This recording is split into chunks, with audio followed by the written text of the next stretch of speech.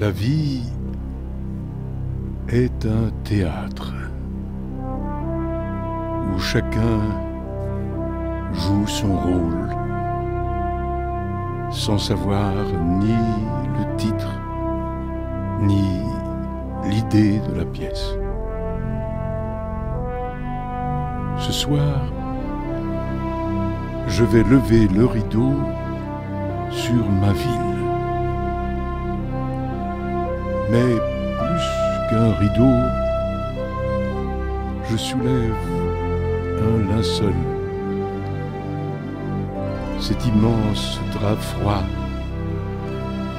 qui protège les cendres de mes aïeux défunts. Voyez l'ombre de mes pères, ces pécheurs, fils et pères de pécheurs. Ils ont dans leur filet, ils ont dans leur mémoire tant de choses à vous dire.